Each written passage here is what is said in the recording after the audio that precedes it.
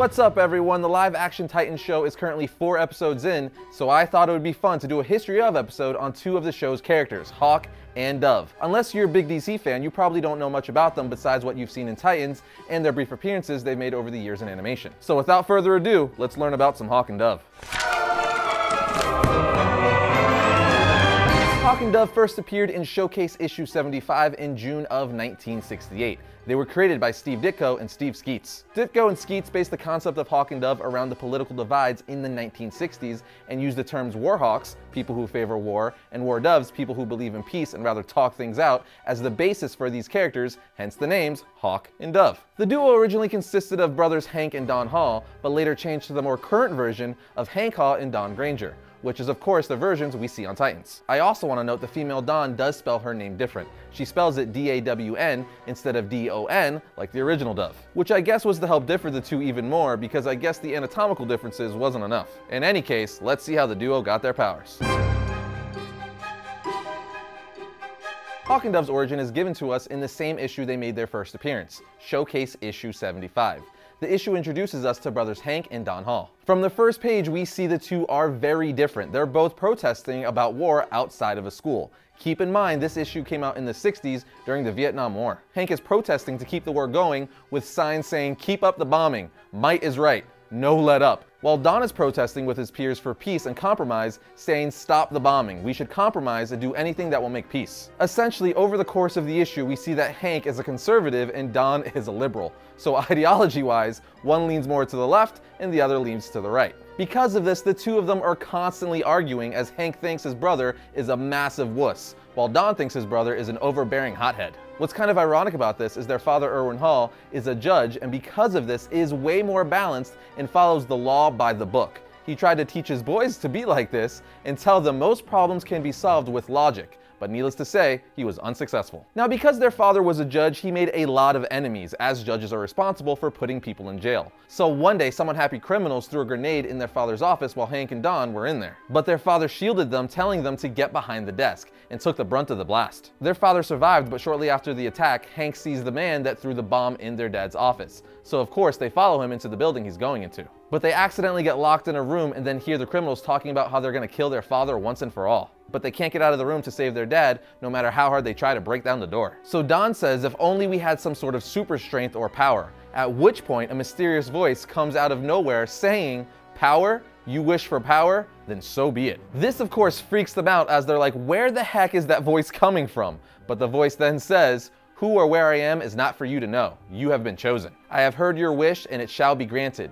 You both shall have powers. If this is what you seek, what powers do you wish? Hank replies, I want the power to break out of here. The power to stop those creeps who are after dad. The power to smash them, tear them apart so they'll never commit crimes again. Can you give me this? The voice says, yes, it shall be yours, and then asks Don, but you, is this also what you seek? Don replies, no, not quite. I want to save father, not smash criminals. Let the police handle them. Hank is like, you idiot, that's the kind of stupid thinking I'd expect from you. But the voice says, silence both of you. We seem to have here a hawk and dove. So be it. Let the transformation begin. And boom, just like that, the two were transformed into Hawk and Dove, which gave them superpowers whenever anyone was in danger. Hank was transformed into Hawk, and Don was transformed into Dove.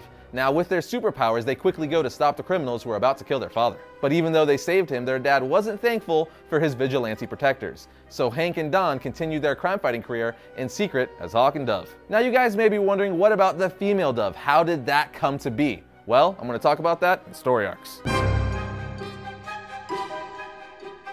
After saving their father, Hawk and Dove made names for themselves by becoming vigilante heroes. And even though Hank kept his fearsome aggressive attitude as Hawk, the public still saw that he was doing good for the city along with Dove. This inevitably led to them joining the Teen Titans for a brief time, which is why they're on the Titans show. But shortly after, they were put on the Teen Titans reserve list and didn't go on missions much with them in order to give more of their time protecting their home turf. Throughout the late 60s, 70s, and early 80s, Hawk and Dove would continue to fight alongside the Teen Titans, but also on their own. They even had a short-lived solo series titled The Hawk and Dove, but it only lasted six issues. In any case, everything changed dramatically for Hawk and Dove in 1986 during the Crisis on Infinite Earth storyline, particularly in issue 12. And that's because Dove was one of the last characters killed off during the event, joining the likes of Kara Zor-El, Supergirl, and Barry Allen Flash. Amongst more. So this is what happened. In Crisis on Infinite Earths, Anti-Monitor has started a crusade across time and space to bring an end to all of existence, which has inevitably led to DC continuity being rebooted, giving many heroes new origins. But in the midst of all this, of course there is chaos everywhere.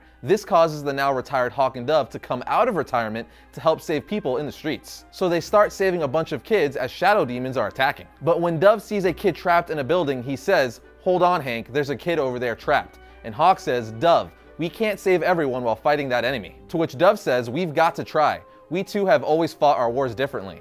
You with your fists, me with my heart, and nothing's changed after all these years. So Dove goes to save the child, but as he's doing so, Hawk yells, Don, my god, behind you, Don. But it's too late, and Dove is killed by a shadow demon. Now this was devastating for Hank, but was also problematic for their superhero personas, as the reason they were made Hawk and Dove was because Hank was the super violent one, while Dove was the peaceful one, which in turn would force them to meet somewhere in the middle and give them balance in their crime fighting. Without Dove to balance out Hawk, he had less control over his aggressive, chaotic tendencies and was soon kicked off from the Teen Titans reserves and also blacklisted in 12 countries, which is crazy. And this is where the female Dove finally comes into play. Basically, we learn the mysterious voice that gave Hank and Don their powers gave the powers of Dove to someone else. And that would be Dawn Granger. She was gifted her powers in the same manner as Hank and Don. She was in London on business with her mother, but at some point her mother was captured and held hostage by a terrorist. So as Dawn was helpless with nothing she could do to save her mom, a mysterious voice offered her a chance to make order from this chaos. All she had to do was say the word. So of course she did, and boom, she became the new Dove. After this, she tracked down Hawk and even helped him in a fight and was like, hey, we should be teammates. At first, he wasn't about it and was hostile with her. Like, even full on attacking her, being like, Who are you, and why the heck are you impersonating my dead brother? But she was eventually able to explain to him her origin and how she became Dove, which I just told you guys. So he soon accepted her as the new Dove, and his partner seeing her not as someone trying to replace his brother, but someone who could carry on his work and legacy. Now, you know how I kept saying that mysterious voice gave them their powers? Well, that's because that's all we really knew up until this point in time in the comics. But it's revealed this mysterious voice and the source of their powers is the Lords of Chaos and Order. That's right, these two opposing forces of mystical energy empowered Hawk and Dove to act in their stead.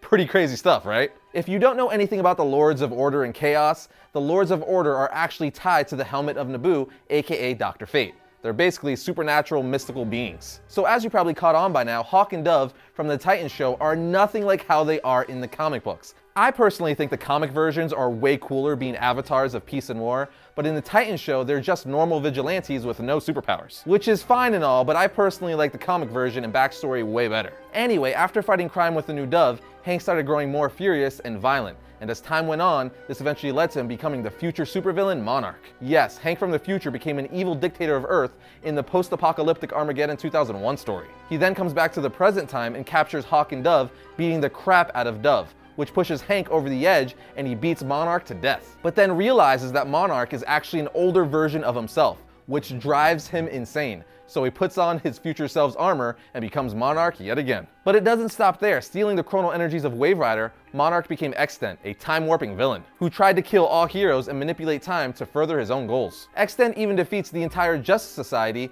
and killed the original Hourman and Atom. But he's eventually killed when Atom Smasher and the JSA put him inside of a plane that's about to crash, which kills him. Kind of a weird way to kill a villain that powerful, but hey, what are you gonna do? After this, Holly Granger, Dove's sister, becomes the new Hawk. But then during Blackest Night, a Black Lantern Hawk slash Hank Hall killed Holly by ripping her freaking heart out. And by the end of Blackest Night, Hank is brought back to life by the White Lantern Light. Hank would go on to join the Birds of Prey along with Dove. After this, Hawk and Dove appeared in their own DC New 52 title, but the title honestly wasn't very good and it got canceled after only 8 issues. And that, my friends, brings us to powers and abilities.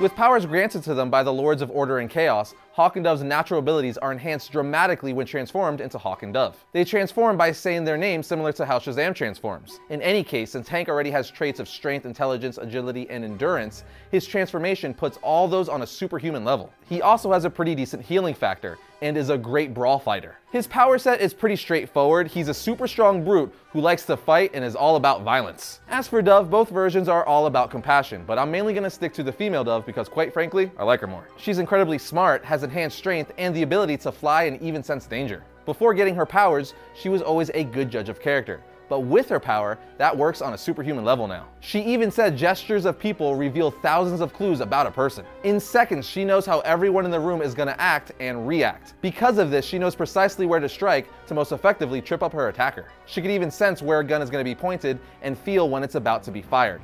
Everything for her is a sharp focus, and she absorbs every single detail around her. What I'm saying is, she's extremely hard to defeat. Their power sets are pretty basic in comparison to other heroes, yet really, really cool. With that said, let's move on to some Hawk and Dove reading recommendations. Read Showcase issue 75, the Hawk and Dove series, their 1988 title, Crisis on Infinite Earths, their 1989 Hawk and Dove solo series, and Teen Titans issue 21. I think that's enough to get you guys started. First up for Wednesday, November 7th, we have Batman issue 58. In this issue, the Dark Knight waddles into a turf war with the Penguin. Now we have Spider-Geddon issue 3. One superior Spider-Man is willing to do whatever it takes to defeat the Inheritors. Will Miles Morales and his team have to stop him before he goes too far? Here we have the Immortal Hulk issue 8. Bruce Banner is dead. His corpse has been dissected, his organs cataloged, and his inner workings are being studied by the scientists of Shadowbase. So that just leaves the Immortal Hulk. Now we have Justice League issue 11, Drowned Earth Part 2.